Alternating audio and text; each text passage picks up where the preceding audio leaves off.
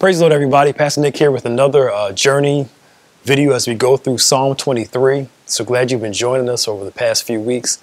Uh, we're almost done, finally, almost out of this. Uh, but we thank God that He has been blessing us to um, share these quick nuggets with you um, over the past few weeks. And we hope that you will please share, comment, follow me on my platforms if you can. Of course, follow the church, follow Bishop.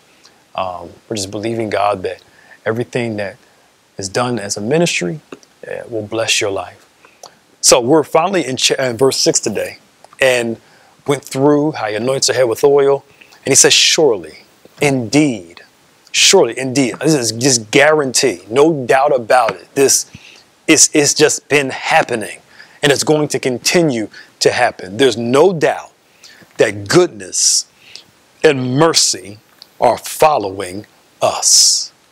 The goodness of God good, the goodness of God. Goodness meaning pleasant, agreeable.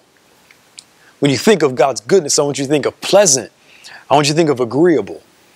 I also want you to think of God's benefits. So the benefits of God is God's goodness. What's pleasant is God's goodness. And you notice that uh, this goodness and mercy are following us all the days of our life, meaning that no matter what we experience, the benefits of God, the pleasantness of God, the, what's agreeable to God is always with us.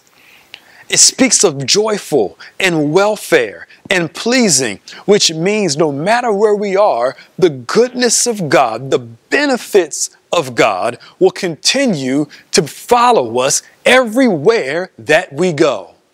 And it's often when we're in something difficult that we don't recognize the goodness of God in it.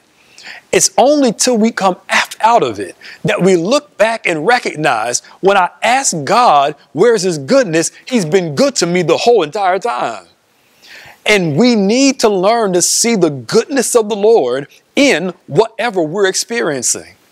The psalmist said, I believe that we will live to see the goodness of the Lord in the land of the living. As long as you're still alive, you are experiencing the benefits of God.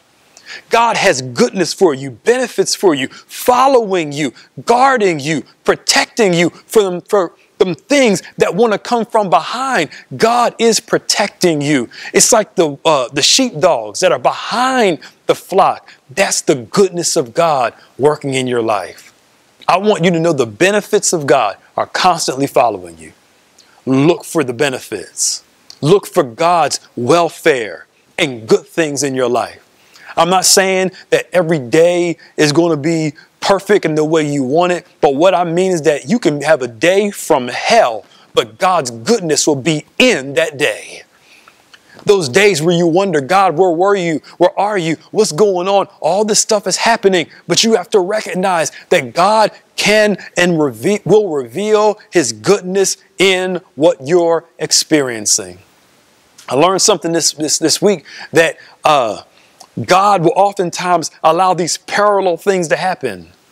We see the movement and outpouring of the Holy Spirit in Acts chapter 2, and God adding to the church and growing the church and favoring the church. And then, almost parallel to the movement of the Spirit, is persecution, martyrdom, people being in prison, all these things that are happening parallel at the same time. And one doesn't cancel out the other.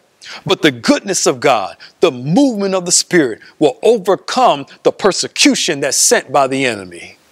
And I want you to know that just because this parallel of bad is happening, don't let this parallel of bad cause you to ignore the parallel line of the goodness of God being revealed in your life. And no matter what goes on, the goodness of the Lord, like Peter when he was in prison, will find you and can deliver you out of the worst situations. Look for the goodness of God. So glad you joined us this morning. Uh, we'll see you next time for another video as we journey through Psalm 23.